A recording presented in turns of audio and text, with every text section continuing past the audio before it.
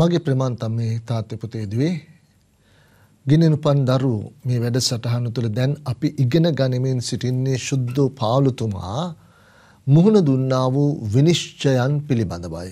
අපි මීට දවස් කීපයකට ඉස්සර වෙලා කතා කළා මීට වැඩසටහන් කීපයකට ඉස්සර වෙලා කතා කළා සිනඩ්‍රීන් මන්ත්‍රණ සභාවේ ඔහු මුහුණ දුන්න විනිශ්චය පිළිබඳව ඊට පස්සේ ආමත් ෆීලික්ස් ආණ්ඩුකාරවරයා ඉදිරිපිට කයිසාරයේදී ඔහු මුහුණ දුන්න විනිශ්චයන් පිළිබඳව ඊට පස්සේ ෆෙස්තුස් කියන ආණ්ඩුකාරවරයා ඉදිරිහි ඔහු මුහුණ දුන්නා විනිශ්චයන් පිළිබඳව සහ දැන් අපි පැමිණ සිටිනවා දෙවන අග්‍රිපා රජු ඉදිරියේ ඔහු මුහුණ දුන්නු විනිශ්චයන් පිළිබඳව. දැන් පළවෙනි විනිශ්චය සිද්ධ වුණේ සෙනෙටරින් මන්ත්‍රණ සභාවේ විනිශ්චය සිදු වුණේ ජෙරුසලම කියන නගරයේ. ඊට පස්සේ ජෙරුසලම නමුත් එහිදී ජෙරුසලම නගරයේදී සෙනෙටරි මන්ත්‍රණ සභාවට ඔහුව මරා දමන්නට ඕන වුණත් මරා ගන්නට බැරි වෙච්ච නිසා සේනාධිපති එතුමාගේ රැකවරණ යටතේ ඔහුව කයිසාරයේ කිලෝමීටර 100ක් විතර ඊට එහා ඈතින් තිබෙන කයිසාරියට ගෙනෙනවා. දැන් කයිසාරියේදී තමයි මුලින්ම ෆීලික්ස් ආණ්ඩුකාරවරයා ඉදිරියේ ඔහුගේ නඩුව ඇහුවේ. ඊට පස්සේ අවුරුදු දෙකකට පස්සේ ආයමත් ඒ නඩුව අහන්න පටන් ගන්නවා ෆෙස්තුස් ආණ්ඩුකාරවරයා ඉදිරිපිට ෆෙස්තුස්ටත් මේ මනුස්්‍යයාව මරා දමන්නට තරම් තීන්දුවක් දෙන්නට කරුණු කාරණාව දැක්ක නැති නිසා ඔහු ඉදිරිපත් කරන අවසානයේදී දෙවන අග්‍රිපා හෙරොත් අග්‍රිපා රජුට දැන් අද අපි කතා කරන්නට යන්නේ දෙවන හෙරෝද් අග්‍රිපා රජු ඉදිරියේ සුදු පාලුතුමා මුහුණ දුන්නා වූ විනිශ්්‍ය පිළිබඳව කතා බස් කරන්නටයි.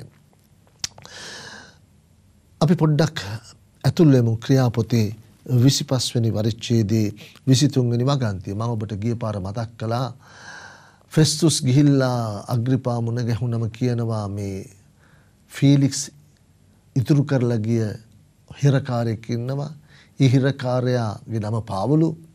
ඔහුව මරා දමන්නට තමයි ජෙරුසලමේ ඉන්න පූජකයින්ට සහ ඒ වගකිව යුතු පුද්ගලයන්ට අවශ්‍ය කරන්නේ නමුත් මම ඔහු මරා දමන්නට තරම් හේතුවක් දකින්නේ නැහැ. ඔහු මේ තමුන් දහන ආගමක් සම්බන්ධයෙන් ප්‍රශ්න තමයි තියෙන්නේ. නමුත් මේ ඔහු රෝම පුරවැසියෙක් ඒ වගේම ඔහු විනිශ්චයක් ඉල්ලනවා සීසර්ගේ. නමුත් ඔහුව සීසර් ළඟට ගෙන යන්න තරම් ඉදිරිපත් කරන්න පුළුවන් කරුණු කාරණාවක් නැහැ.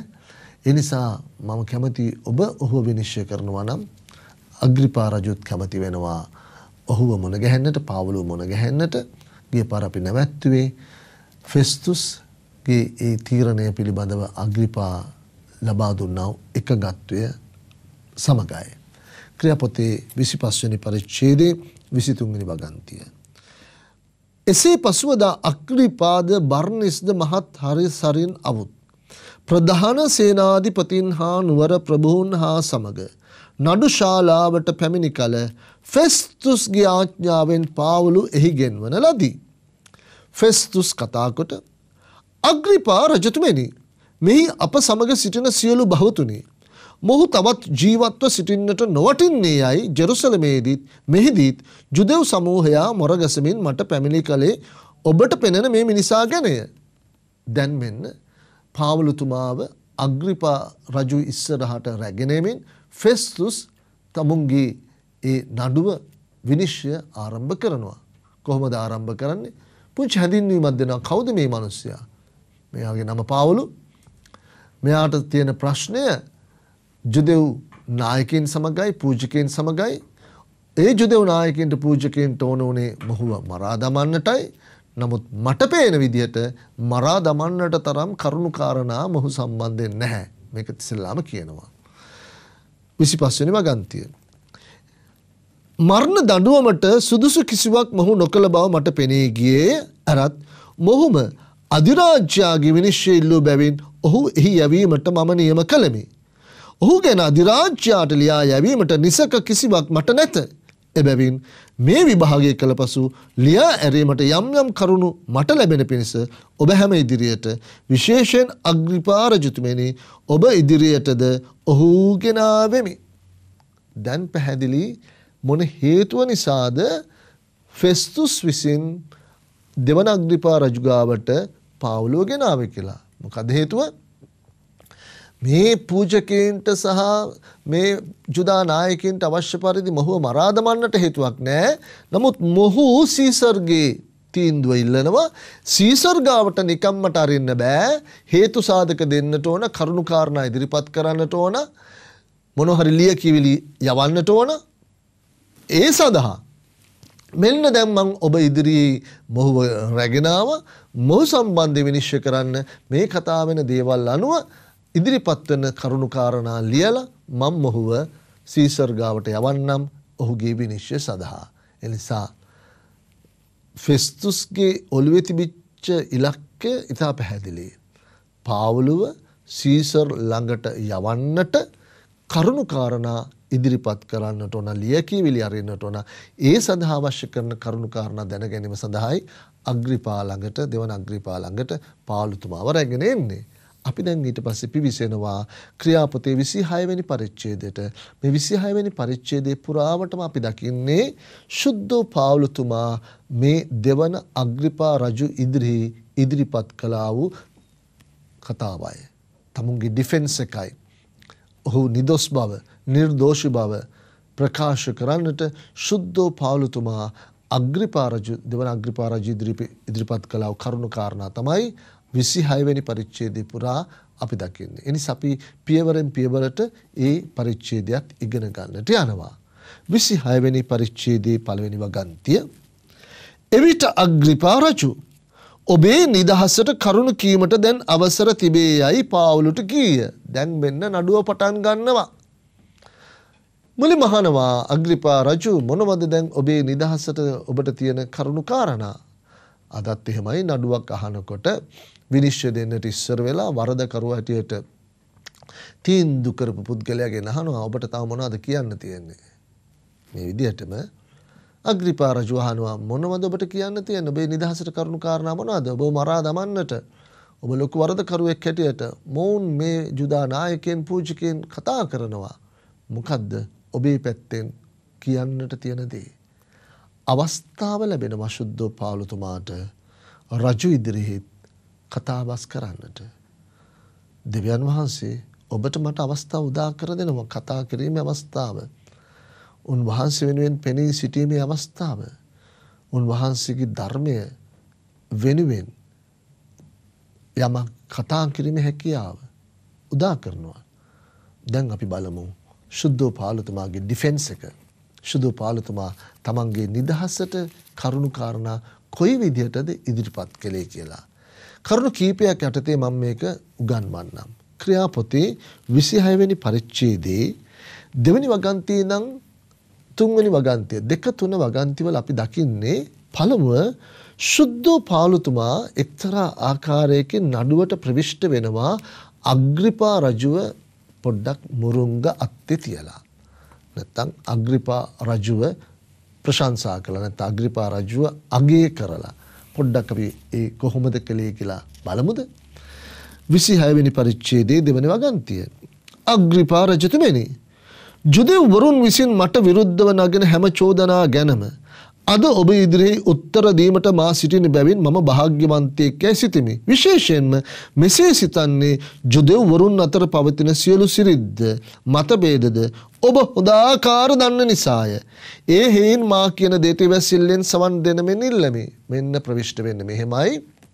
සුදු පාලතුමා කියනවා මට ඔබ ඉදිරියේ කතා කරන්න ලැබීම බොහොම භාග්‍යයක්. මොකද ඔබ මේ සියල්ල දන්නවා. පුංචි කාලේ නම් ඔබ මේ ප්‍රදේශයේ ජීවත් වෙච්ච නිසා තරුණ ඔබ මේ රටේ මේ මේ ප්‍රදේශයේ මේ පලස්තීනයේ සිද්ධ වෙච්ච දේශපාලන කතන්දර ආගම කතන්දර දන්නවා. තියෙන මතභේද දන්නවා ප්‍රශ්න දන්නවා. එනිසා ඔබ වගේ කෙනෙක් ඉස්සරහා මේ ප්‍රශ්න ගැන දන්න මතභේද ගැන දන්න මේ විශේෂකොටම ජුදෙව් මානසිකත්වය ගැන දන්න ජුදෙව් පූජකයන්ගේ මානසිකත්වය ගැන දන්න ඔබ වැනි කෙනෙක් ඉස්සරහා කතා කරන්න ලැබීම භාග්‍යයක් හැටියටයි මම සලකන්නේ. පොඩ්ඩක් අග්‍රිපා රජුව උස්සනවා මුරුම් ගත්තේ තියෙනවා. සානිත් පැත්තෙන් පාලුතුමා දැනගෙන ඉන්න ඇති මේ මිනිස්සයා යම් ආකාරයක සාධාරණත්වයකින් යුතුව ඔහු දෙස බලයි කියලා. එනිසා ඔන්න දෙක සහ තුන ප්‍රවිෂ්ටය නඩුවට ප්‍රවිෂ්ටය ඩිෆෙන්ස් එකට ප්‍රවිෂ්ටය කොහොමද තමන්ගේ කතාව ඉදිරිපත් කරන්න කියනක ප්‍රවිෂ්ටය. ඉට පස්සේ ක්‍රියාපොතේ විසි හැවින් පරිච්චේදේ හතරවනි වගන්තියේ සිට අටවැනි වගන්තිය දක්වා ඔක්කොට සපි දකිනවා ශුද්ධ පාලතුමා තමන්ගේ ජුදෙව් ජීවිතය ගැන කොහොමද ජුදෙව් ආගම ඔහු ඇදහුවේ කියන කාරණාව ගැන කොහොමද ඔහු ජුදෙව් ධර්මය තුළ ජීවත් වනේ කියන කාරණාව ගැන ඉදිරිපත් කරනවා. අපි පොඩ්ඩක් ඒ දිහා බලමුද? කොහොමද පාවුලුතුමාගේ පෙර ජීවිතය කිතුුණු වෙක් වෙන්නට ඉස්වෙලා වෙලා ක්‍රස්තියානි කාරයෙක් වෙන්නට ඉස්සර වෙලා ඔහු ජුදෙව් හොඳ ජුදෙව්වෙක් ලෙස ජීවත් වනේ කොහොමද කියන කාරණාව පාලුතුමා ලියා දක්වනවා කියා දක්වනවා. හතරවනි වගන්තියේ සිට යොවුන් වියේ පටන් මාගේ රටවැසියන් අතර හා ජෙරුසලමහිද? මාගේ හැසිරීම ගැන මුල පටන් සියලු ජුදෙව්වරුද දනිති. අපේ ආගමේ ඉතා දැඩිකරනිකා යනුව මා පරිසිවරයෙක්ව ජීවත් වූ බව ඔවුහු බොහෝ කලෙක සිට දැනති. කැමතිනම් ඔවුන්ට ඒ ගැන සාක්ෂිදිත හැකිය. එහි දෙවියන් වහන්සේ අපේ පියවරුන්ට දුන් පොරොන්දුව කෙරේ විශ්වාසය තැබීම ගැන දැන් මම විනිශ්්‍ය කරනු ලබන්නට සිටිමි.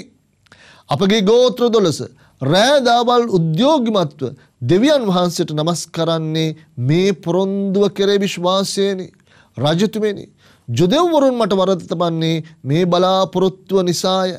දෙවියන් වහන්සේ මල උන්නුත්ථාන කරන බව විශ්වාස කළ නොහැකියයි ඔබ අතරෙන් කිසිවකු සිතන්නේ මන්ද. මේ කොට සහරි වැදගත්. මෙන්න පාවලුතුමා තමන්ගේ ජුදෙව් විශ්වාසය ගැන ජුදෙව් ඇදහිල්ල ගැන කතා කරනවා. මම පොඩි කාලි නම්ම මම තරුණ කාලි නම්ම හොඳට ප්‍රබලව ජුදෙව් ආගම අදහපු කෙනෙක්. මේ ඉන්න අය මාව ආශ්‍රය කරපුවා මාව දන්න අය හොඳ ආකාරවම ඒක දන්නවා. සහ ඒ තුළින් ඔහු ජුදෙව් ධර්මය තුළ තිබුණා වූ එක්තරා ඇදහිල්ලක් ගැන කතා කරනවා. මොකදද ඒ ඇදහිල්ල ජුදෙව් ධර්මය තුළ තිබුණා වූ පළමු කාරණාව තමයි බලාපොරොත්තුවක් තිබුණා මෙසීයාගේ පැමිණීම. අදටත් එහෙමයි. ජුදෙව්වරු තාමත් බලාපොරොත්තු වෙලා ඉන්නවා මෙසීයා කෙනෙකුගේ බලාපොරොත්තු පැමිණීම. දෙක පරිසිවරුන් හැටියට මම ඔබට මීට ඉස්සෙල්ලා දවසක කියවුවා කියා දුන්නා. පරිසිවරුන් සහ සද්දිස්සිවරුන් අතර තිබුණා ලොකු ભેදයක් මොකද්ද? පරිසිවරුන් විශ්වාස කළා මලුන්ගේ නැගිටීම ගැන. නමුත් සද්දිස්සිවරු විශ්වාස කළේ නැහැ මලවුන්ගේ නැගිටීම ගැන දැන් පවුලතුමා කියනවා ගෝත්‍ර 12ම දෙවියන් වහන්සේට নমස්කාර කරනවා වන්දනා කරනවා මේ අපේ ජුදෙව් ආගමේ බලාපොරොත්තුවක් තිබෙනවා මෙසියාගේ පැමිණීම. සහ පරිසිවරයෙක් හැටියට මම විශ්වාස කරනවා මලවුන්ගේ නැගිටීම ගැන. දැන් මේ කරුණු දෙක කියන්නේ ඔහු විශේෂ දෙයක් ගැන කතා කරන්නටයි. මොකදද බලාපොරොත්තුව ඉෂ්ට සිද්ධ වෙලා දැන් ඉවරයි. ජොදෙව් ධර්මය තුළ අපි බලාපොරොත්තු වෙලා හිටිය මෙසියා ඇවිල්ලා ඉවලයි. ඒ වෙන කවුරුත් නෙමෙයි මලුන්ගෙන් උත්තාන වූ ජේසුස් ක්‍රිස්තුස් වහන්සේ. මලුන්ගේ උත්තානය ගැන විශ්වාස කරනවා මෙසියාගේ පැමිණීම ගැන විශ්වාස කරනවා ඒ කරුණු දෙකම එක පුද්ගලයෙක් තුළ සිදුවෙලා හමාරය කියා නොකිය කියනවා කවුදේ පුද්ගලයා ජේසුස් ක්‍රිසුස් වහන්සේ. එනිසා මෙන්න ඔහු ඔහුගේ ජුදා ධර්මයේ ඇති ඇදහෙල්ල. ජුදා ධර්මය පිළිබඳ වෙන්න ඔහුගේ විශ්වාසය කතා කරන ගමම්ම ඒ තුළ ඇත්ති ජේසුස් ක්‍රිසුස් වහන්සේ පිළිබඳ ඔහු අදහනදේ ඉදිරිපත් කරනවා. එනිසා ක්‍රියාපොතේ මේ විසිහයවෙනි පරිච්චේදී හතරනි වගන්තිය දම් අටවැනි වගන්තිය දක්වා පාවලුතුමා ගෙනෙන්නේ ජුදා ධර්මය පිළිබඳ ඔහුගේ ඇදහිල්ල ධර්මය ඔහු පිළිගන්නදී බලාපොරොත්තුව සහ නොකිය කියනවා ඒක දැන් ඉෂ්ට වෙලා තියෙනවයි කියලා. ඊට පස්සේ නමනි පරිච්චේදී නමනි වගන්තිය දක් එකොළොස්වනි වගන්තය දක්වා දැන් මෙන්න ඔහු ගේනවා මේ ජුදා ධර්මය තුළ සිටිය ඔහුගේ අතීත ජීවිතය ගැන අතීත ක්‍රියාකාරකම් ගැන මොකක්දේ අතීත ක්‍රියාකාරකම් ඔහු කොයි තරම් ක්‍රිස්තියානි කෙන ධර්මය අදහපු මේ අලුත් ධර්මය තුළ ජීවත්වෙච්ච මිනිස්සුන්ව කොයි තරම් මරා දැමුවද කියන දේ කාරණාව පිළිබඳව අග්‍රිපා ඉස්සරහා ඉදිරිපත් කරනවා. ඔහි කොයිතරම් ප්‍රබල ඝාතකයෙක් වුණාද කියලා. ජුදා ධර්මය ආරක්ෂා කිරීම සඳහා ඔහු කොයිතරම් වැඩ කළාද කියන දේ ඉදිරිපත් කරනවා. අපි පොඩ්ඩක් බලමු. ක්‍රියාපොතේ 26 වෙනි පරිච්ඡේදයේ 9 වෙනි වගන්තිය සිට 11. නාසරෙත්ති ජේසුස් වහන්සේගේ නාමයට විරුද්ධව බොහෝ දේ මා විසින් කළ යුතුයයි වරක් මමත් සිතුවෙමි. ජෙරුසලමේදී මා කළේත් එයමය.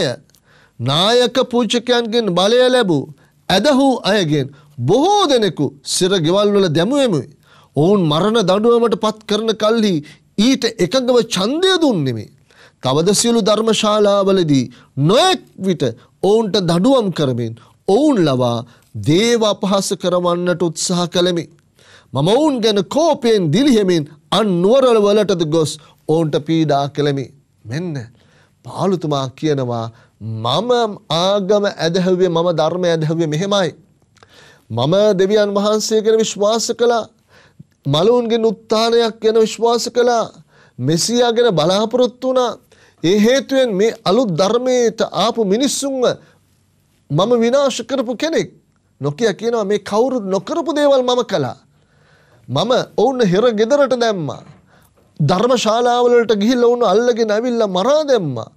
මම කෝපේ මේ දේව අපහස කරනවා කියලා හිතපු අයව නැති කරලා දැම්මා. නැති කරලා දැම්මා. පාලුතුමා ඔහුගේ අතීතය අතීත ජීවිතය ගැන කතා කරනවා. මේ අතීත ජීවිතය ගැන කතා කරන පාලුතුමා මෙන්න ඊට පස්සේ පිවිසෙනවා. ඔහු ජේසුස් ක්‍රිස්තුස් වහන්සේව මුහුණට මුහුණ දැකීමේ අත්දැකීමට ක්‍රියාපොතේ දොළොස්වැනි විසිහයවැනි පරිච්චේදේ දොළොස්වනි වගන්තිය නම් දහ අටවැනි වගන්තිය දක්වා තිබෙන්නේ අන්න ඒ අත්දැකීමයි. මම ආයමත් ඒ ගැන කියන්නට ඕන්නෑ මොකක්දේ අත්දැකීම? දමස්කස් වලට යනකොට මගදී ජේසුස් ක්‍රිස්තුස් වහන්සේ මුණගැහිලා පාවලු අන්ද වෙලා අසුගෙන් වැටිලා ඔහු උන්වහන්සේ පිළිබඳ ලැබුවා වූ අත්දැකීමයි. මම මේ කොටසේ එක වාක්‍ය ගැන කතා කරන්න ක්‍රියාපොතේ විසි හයවෙනි පරිච්ඡේදේ දාහතරවනි වගන්තය. අප සියල්ලන්ම බිම වැටුණු කල සාවුල් සාවුල් ඔබ මට පීඩා කරන්නේ මන්ද.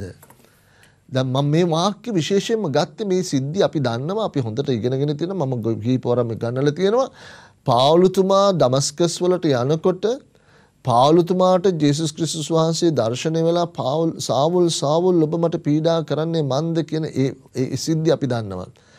නමුත් අපි හිතාගෙන ඉන්නේ අපේ ඔළුවේ තියෙන්නේ පාවුලුතුමා නැත්තම් සාවුල් පමණක් අසුගෙන් වැටුණයි කියන දේ. නමුත් මෙතන හරි ලස්සන දෙයක් කියවෙන කොහොමද? අප සියල්ලන්ම බිම වැටුණු කල.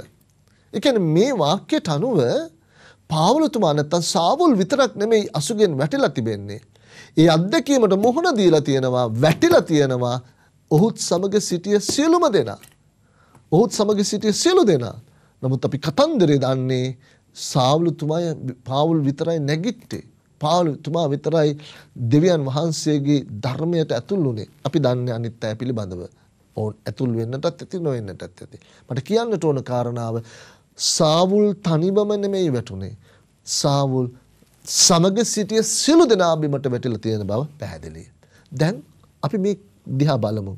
මෙන්න ක්‍රියාපොතේ 26 වෙනි පරිච්ඡේදයේ 9 වෙනි වගන්තිය ඉඳන් 11 වෙනි වගන්තිය දක්වා පාවුලුතුමා කතා කරන ඔහුගේ අතීතයේ නරුම ජීවිතය ගැන. ඔහු තුළ තිබුණා වූ අපවිත්‍ර වූ ඝාතකයෙකුගේ ජීවිතය පිළිබඳ. මරා දමමින්ගේ ජීවිතය ගැන. නමුත් පාවුලතුමා සවුල් පාවුලතුමා කියනවා ඔහු සාවුල් හැටියට ඩමස්කස් වලට ගියා නමුත් ඔහු සාවුල් නෙමෙයි පාවුලු බවට පත් වුණා. කුමක්ද හේතුව?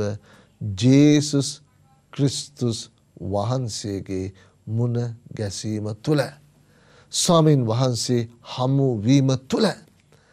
ඒ හමුවීමත් සමගම ඔහු තුළ ලැබුවා වූ ජීවිත වෙනස ගැන ඒ හමුවීමත් තුළ ඔහුගේ ජීවිතය තුළ තිබුණා වෙනස් විපර්යාසය සම්පූර්ණයෙන්ම අලුත් වූ බව ඔහු ප්‍රකාශ කරනවා.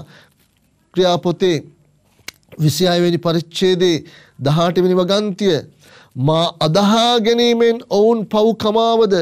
දෙවියන් වහන්සේගේම ජනතාව අතරේ උරුමයක්ද ලබන පිණිස ඔවුන් අන්ධකාරේනා ලෝකයටද සාතන්ගේ බලයෙන් දෙවියන් වහන්සේ වෙතට හැරෙන ලෙස ඔවුන්ගේ ඇස් පැහැදවීමට ඔවුන් වෙතට ඔබ යවමි වදාළසේක පාලුතුමා මේ කොටස තුළ කියනවා ස්වාමින් වහන්සේ මාව වෙනස් කළා.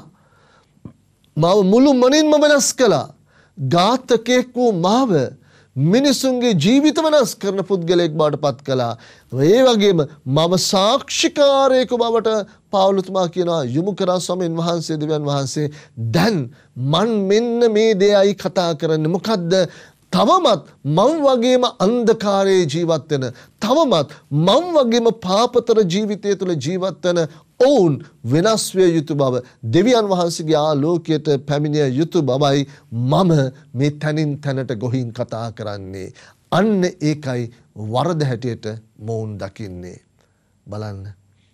සුදු පාලුතුමා බයවුනේ නෑ දෙවන අග්‍රිපා රජු ඉදිරේ තමන්ගේ විශ්වාසය කතා කරන්නට. තමුන්ගේ අත්දැකීම ගැන කතා කරන්නට. එකම එක අත්දැකීමයි ලැබවේ සුදු පාලුතුමා ජීවිතයේ ඒ එකම එක අත්දැකීම මුළුමනින්ම මුළුමනින්ම ඔහුව වෙනස් කලා කොයි තරම් වෙනස් කලාද කියනව නම් ඔහු රජීදිරේ පවා නොබියව ප්‍රකාශ කරනවා මම සාක්ෂි දරණ දෙවියන් වහන්සගෙන සාක්ෂි දරණ සහ බයනැතුව තවමත් පාපවල ජීවත්වන මිනිස්සුන්ගේ ජීවිතවලට අභියෝග කරමින් ඒ ජීවිත වෙනස් කරන ජීවිතයක් බවට මගේ ජීවිතය පත් වනායි කෙන කාරණාව. ප්‍රමන්තම්ම තාත්‍ය පුතේදිවේ. දෙවියන් වහන්සේ පුදුමාකාර විදියට අපිව ගමන කරගෙන යනවා. අපිවත් වට්ටනවා වැටෙන්න්නට ඉඩ හරිනවා හැබැයි ඒ වැටුණු තැනින් සමින් වහන්සේ අපිව නැගිට්ටුවනවා. අලුත්ම අලුත් කරලා නැගිට්ටුවනවා. සම්පූර්ණයම අපිව වෙනස් කරලා නැගිටුවනවා. අලුත් ජීවිතයක් ලබාදිල අපිව නැගිටුවනවා. අලුත් ආලෝකයකට අපිව නැගිටුවනවා. එතනින් අපි නතර නොවිය යුතුයි. පාවුලු වගේ. ඒ ලබපු අත්දැකීම නොබියව ඕන කෙනෙක් ඉදිරියේ ප්‍රකාශ කරන්න පුළුවන් ජීවිතයක් අපිට තිබිය යුතුයි. පාවුලුතුමා වගේ නොබියව ඒ වෙනුවෙන් සාක්ෂි දරන්නට තවමත් අපි වගේම අන්දකාරයේ ජීවත්වන අඳුරේ ජීවත්වන අයව දෙවියන් වහන්සේගේ ආලෝකයට අරගෙනීමේ හැකියාවක් අපිට තියෙන්න්නට වන. අන්න ඒ හැකියාව තියෙනවනම් අන්න ඒදී අපි කරනවනම් අපි සාක්ෂි දරන කිතුනුවන් බවට පත්වෙනවා. ශුදෝපියාණන් වහන්ස. ශුදු පාලුතුමා වගේ අපේ ජීවිතවලත් අපි අත්දකින විවිධාකර වැටීම් හරහා නැගිටින්නට. ඔබහන්සේ අපව නැගිට්ටුවන බව අත්දකින්නට. ආලෝකය කර අපව නැගිට්ටුවන බව අත්දකින්නට උදව් කළ මැනව විශේෂකටම ශුද්ධෝපියාණන් වහන්ස අප ලබපු අත්දැකීම තුළින් ඔබහන්සගෙන සාක්ෂි දරන්නටද ඒ සාක්ෂි හරහා තවමත් වැටිලා ඉන්න මිනිස්සුන්ට නැගිටින්නට උදව් කරන්නට අන්දකාරී සිටින අයව ආලෝකයේ රැගෙනෙන්නට අපව යොමු කළ මැනව ආමේ.